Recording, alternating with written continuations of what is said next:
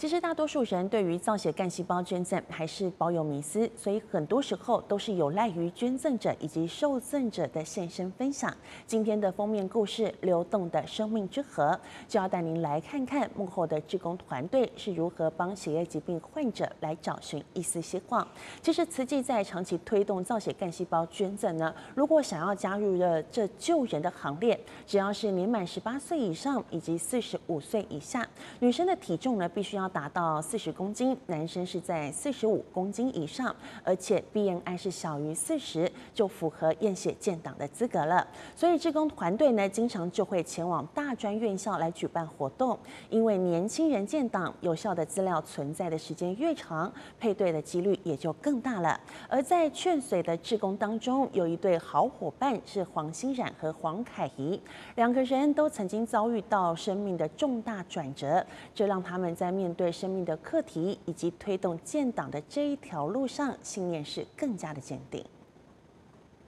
跟他要跟他约几点，我就说你看他几点有空这样子。黄凯怡高一时就来到书轩担任小志工，跟着当时身兼店员和劝水志工的黄欣冉忙前忙后，没想到大一那年突然罹患急性淋巴性白血病。医生跟我说。要做骨髓移植，如果没有配对，怕有生命的危险。当时虽然成功配对，却没有获得捐赠，只能继续接受化疗。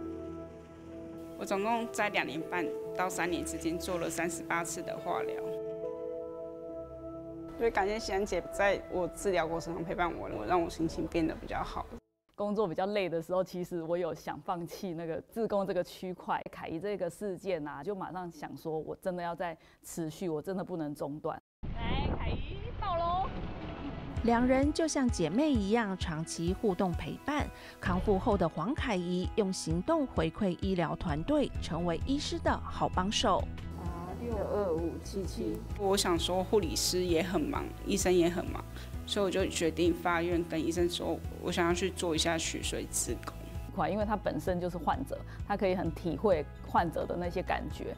目前慈济骨髓资料库的建档资料数量累积四十八万两千一百一十三笔，配对病患七万零两百九十五例，移植成功六千七百八十一例。只是随着时间不断过去，有效资料里的年轻族群比例越来越少。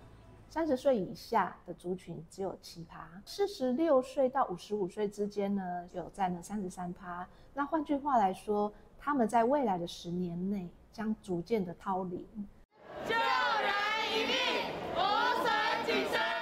因此，资料库需要更多心血注入。志工利用各种活动宣导验血建档，也走入校园，将生命教育向下扎根。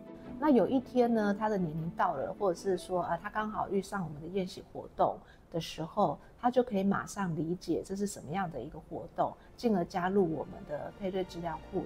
越年轻建档，骨髓资料库的有效资料存在时间越长，就越有机会拯救生命，改变病患的人生。大爱新闻，阮乃红、刘宏志，华联报道。